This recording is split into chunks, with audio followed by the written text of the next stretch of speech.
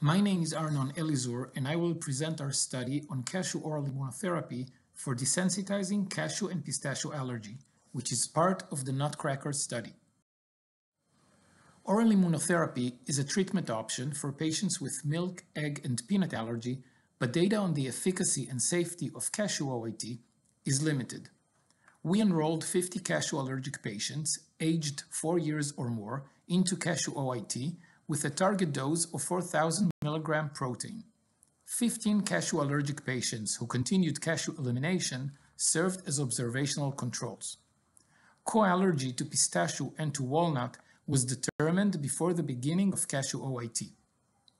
Full desensitization rate and associated immunological changes in both groups were compared.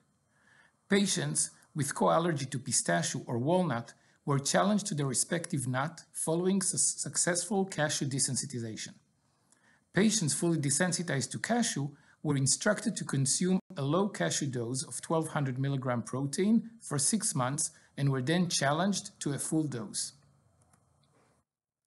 In terms of clinical outcome, 44 of 50 OIT treated patients, which is 88%, compared to 0% in controls, tolerated a dose of 4,000 mg cashew protein at the end of the study. An additional three patients were desensitized to 1200 mg cashew protein, and three patients failed. Three patients were treated with injectable epinephrine for reactions occurring at home. Following cashew desensitization, all 35 pistachio and 4 of 8 walnut co-allergic patients were cross-desensitized to the respective nut. In terms of immunological outcomes, a significant decrease in skin prick test, specific IgE, and basophil reactivity to both cashew and pistachio, and a significant increase in specific IgG4 to both nuts were observed in desensitized patients following treatment, but not in controls. All 44 patients consuming a low cashew dose for six months following desensitization passed a full dose of cashew oral food challenge.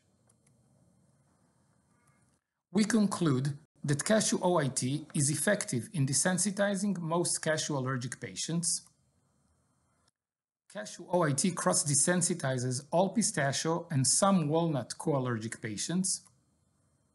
The safety of cashew OIT is similar to OIT observed for other foods. A low cashew dose consumption is sufficient to maintain full cashew desensitization.